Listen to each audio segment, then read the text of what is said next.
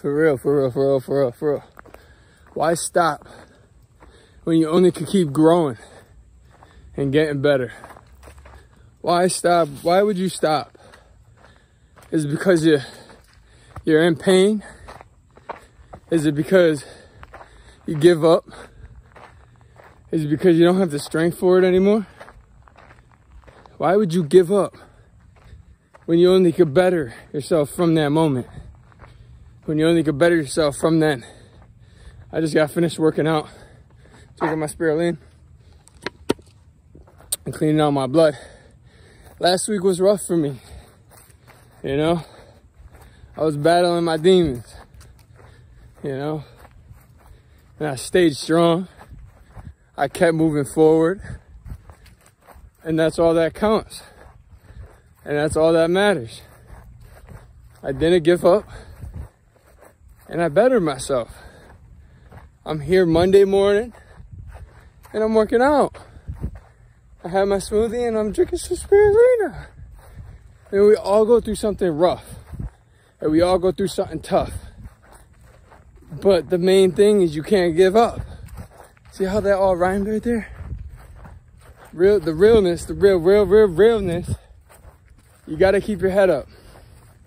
Okay?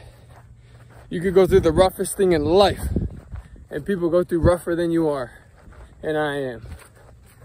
And they don't give up. And they don't give up. Hold on hold on. It's getting a little heavy on my one arm after working out. But anyways anyways main thing is don't give up could be your passion could be something you love to do. You might have got tired to it. The thing is, come back tomorrow and do it. All right? Keep pushing yourself, keep prospering, and keep growing. That's the main thing. So don't give up. You're stronger than that by your mind, you're stronger than that with your heart, and you're stronger than that physically with your body. You just need to push through that phase and push through that I can't phase. That that's the thing, cause you could, and I could. I could do whatever I want, as long as my mind's to it. And that's the same with you. So I hope you're having an amazing week.